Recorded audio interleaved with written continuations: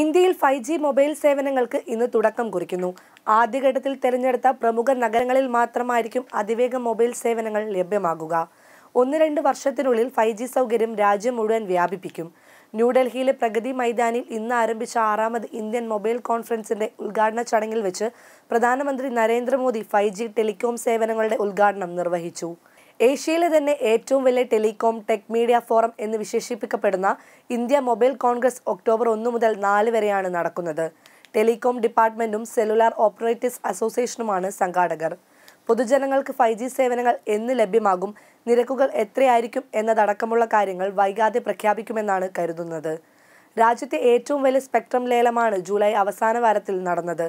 ഏഴു ദിവസങ്ങളിലായി നടന്ന ലേലത്തിൽ ലേലത്തുക ഒന്നേ ലക്ഷം കോടി രൂപ വരെ ഉയർന്നിരുന്നു. സ്പെക്ട്രത്തിന്റെ പകുതിയോളം മുകേഷ് അംബാനിയുടെ ജിയോയാണ് സ്വന്തമാക്കിയിരിക്കുന്നത്. എൺപത്തി എട്ടായിരത്തി എഴുപത്തിയെട്ട് കോടി രൂപയ്ക്കാണ് ജിയോ രാജ്യത്തെ ഫൈവ് ജിയുടെ പാതിയും കരസ്ഥമാക്കിയത്. എൺപത് ശതമാനം ഫൈവ് ജി സേവനങ്ങളും എത്രയും പെട്ടെന്ന് ജനങ്ങളിലേക്ക് എത്തിക്കുമെന്ന് മന്ത്രി അശ്വിനി വൈഷ്ണവ് നേരത്തെ അറിയിച്ചിരുന്നു. മറ്റു രാജ്യങ്ങൾ വർഷങ്ങളെടുത്താണ് നാൽപ്പത് മുതൽ അൻപത് ശതമാനം വരെ ഫൈവ് ജി കവറേജ് ജനങ്ങളിൽ എത്തിച്ചിരുന്നതെങ്കിൽ വളരെ ചുരുങ്ങിയ സമയത്തിനുള്ളിൽ എൺപത് ശതമാനം കവറേജ് നൽകുകയാണ് സർക്കാർ ലക്ഷ്യമിടുന്നതെന്നാണ് മന്ത്രി വ്യക്തമാക്കിയത്.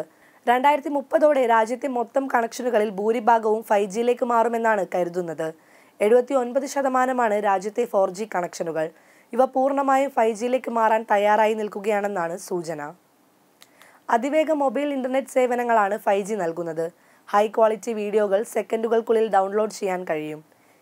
ഇ ഹെൽത്ത് കണക്റ്റഡ് വാഹനങ്ങൾ metaverse augmented reality advanced mobile cloud gaming തുടങ്ങി ഫൈവ് ജി എത്തുമ്പോൾ വേഗം കൈവരിക്കാനിരിക്കുന്ന സേവനങ്ങൾ നിരവധിയാണ്.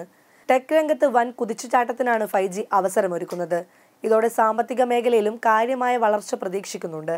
പുതിയ ബിസിനസ് മേഖലകൾക്കും സ്റ്റാർട്ടപ്പുകൾക്കും പുതുതലമുറ ഇന്റർനെറ്റ് സേവനങ്ങൾ വഴി തുറക്കും രണ്ടായിരത്തി ഇരുപത്തി മുതൽ രണ്ടായിരത്തി നാൽപ്പത് വരെയുള്ള കാലയളവിൽ മുപ്പത്തിയാറ് പോയിന്റ് അഞ്ച് ട്രില്യൺ രൂപയുടെ നേട്ടം നമ്മുടെ സാമ്പത്തിക മേഖലയ്ക്ക് ഇത് നൽകുമെന്നാണ് പ്രതീക്ഷിക്കുന്നത്.